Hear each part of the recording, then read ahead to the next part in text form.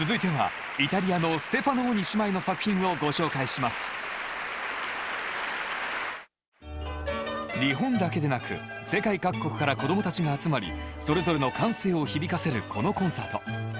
音楽は国境を越えて作る楽しみ演奏する楽しみを教えてくれます。そんな2人は遊ぶ時もレッスンする時もいつも一緒。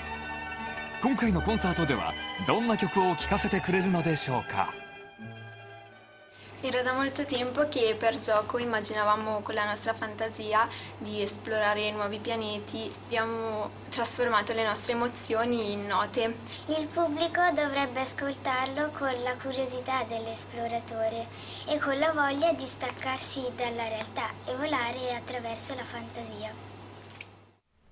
それでは 2人の息の合った連弾をお聴きください。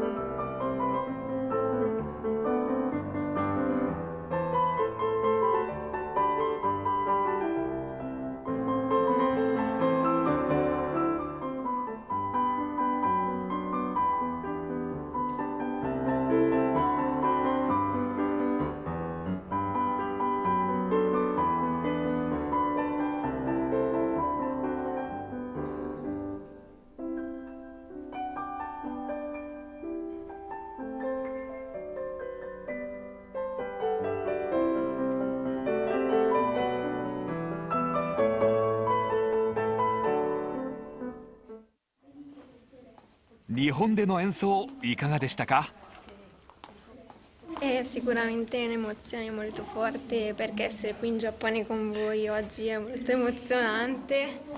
Tantissimo emozionate e spero che al pubblico gli è piaciuta la nostra composizione che abbiamo, che abbiamo messo tantissimo